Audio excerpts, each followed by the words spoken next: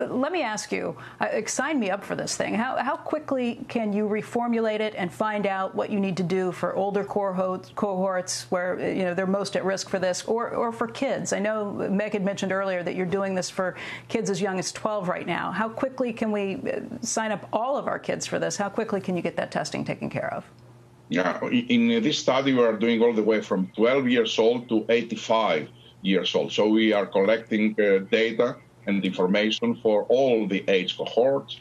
We are also doing for people that they have chronic diseases, HIV, hepatitis C, hepatitis B. So we will have a lot of data yeah, to provide regulators, and of course they will decide which ages they are going to recommend it. But uh, the study is very robust right now. Yeah, I, I, I, hate to keep pushing this, but I've got a four-year-old, a nine-year-old, and a 94-year-old grandmother. How quickly can you move beyond that? You think? Are we talking six months? Are we talking nine months? I think that the older people, more than 85, I think likely regulators in cases that we are doing studies to 85, they are giving, uh, and physicians, they are treating uh, very easily also the older people. But that's up to physicians and to FDA, of course.